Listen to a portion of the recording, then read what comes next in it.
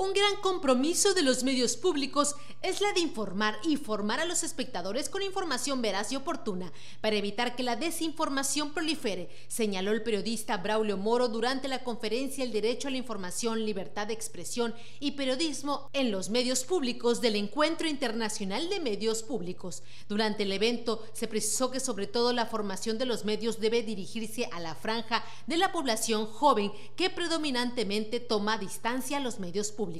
Hoy la falsa información corre muy rápido entre la población de todo el mundo, señalaron durante las actividades del Encuentro Internacional de Medios Públicos, en donde participan los países de México, Colombia, Alemania, Francia, Argelia y Estados Unidos. El evento organizado por el Instituto Mexicano de la Radio, en el que participaron especialistas en el tema, periodistas e investigadores, donde se definieron los desafíos para lograr la libertad de expresión.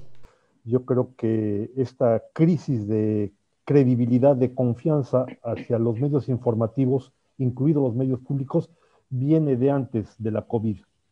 Viene del 2016, lo sabemos perfectamente bien, se ha agravado con la crisis actual, pero no es nueva. Y sobre todo lo que tenemos que ver en perspectiva es que seguirá siendo cada vez más profunda. Y en este sentido, yo me permitiría señalar cuáles son las herramientas para asegurar una información creíble. Es no la imparcialidad. Yo no pienso que haya imparcialidad en la información. Pienso que tiene que ser una información equilibrada y que el papel que tenemos como periodistas de medios públicos pasa por lo que yo llamaría una especie de pinza, un binomio, la información y la formación. Es decir, nuestro papel es informarle al público, pero en las condiciones actuales, más que nunca, los medios públicos también tienen que formar al público.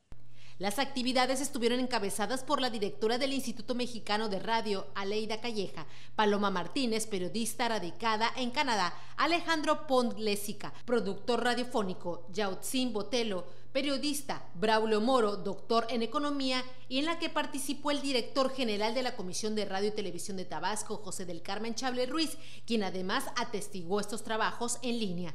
Durante la charla también se explicó que por eso la misión de la IMER es producir programas y transmitir contenidos radiofónicos que estimulen el conocimiento, la comprensión y el análisis para consolidar una comunicación pública incluyente, participativa y plural. Las actividades de este encuentro continuarán los días 23 de octubre con el taller Periodismo en Medios Públicos, oportunidades y retos para las mejores prácticas. El 26 de octubre con el tema de marcos normativos y el 30 de octubre con la conclusión y cierre de actividades. Marisol Mateos, Noticias TVT.